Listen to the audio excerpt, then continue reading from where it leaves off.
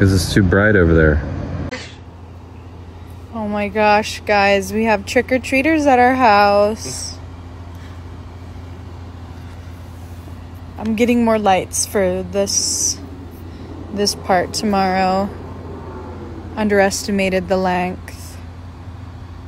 Haha. Dirty joke. Opportunity. How fun! Where'd he go?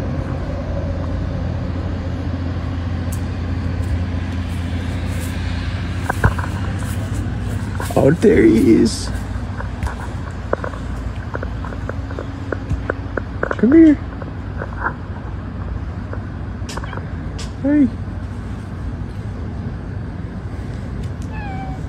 Meow.